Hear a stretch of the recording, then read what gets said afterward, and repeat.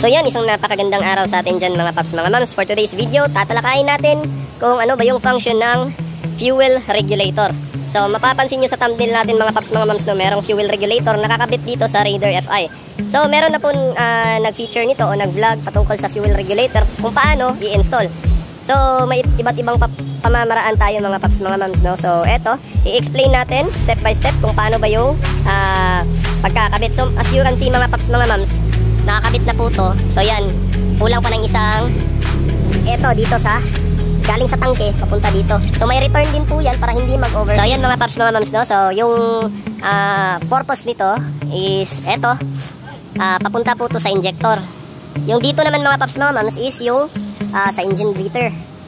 Yung dito sa ilalim ito ito naman yung return para hindi mag overfeed so pabalik din po to dun sa uh, tangke natin So, if daily use lang yung uh, gagamitan natin mga paps, mga mams, isiset lang natin to sa uh, 30 PSI. Ito, sa number 3. O di kaya 4. Dito sa 4. Pero if magra-rides kayo o pang motor show, pwede nating iset yan sa 60 PSI. Make sure lang mga paps, mga mams, na kapag gagamit tayo nito, is yung hose natin is kayang uh, uh, mag-obtain ng uh, PSI na malakas. So, yung iba kasi eh, sumasabog, hindi kinakaya yung PSI. So, yun. Ito mga paps mga mams, na-adjust din yung PSI niya dito sa itaas. So alin lang din po yung ginagamit dito. Alin wrench. Yan, ito.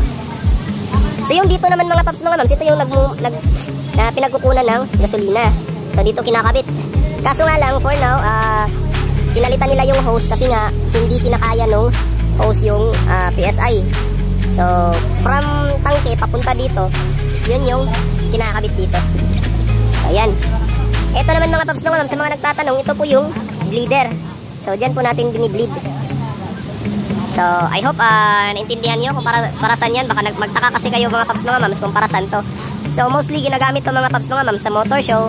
So, pampalakasan talaga. So, sa mga nagbabalak magkabit nito, okay na okay din naman to mga paps mga mams. Ito yung brand niya. Focus natin. Ayan. Aero Motive. So, kapag pinandar natin to mga paps mga mams, automatic, yung tambucho niya lalong lalo na if nakaset dito sa mataas na PSI so malakas sa gas. So automatic. Yung abuga ng tambucho niya is malakas din.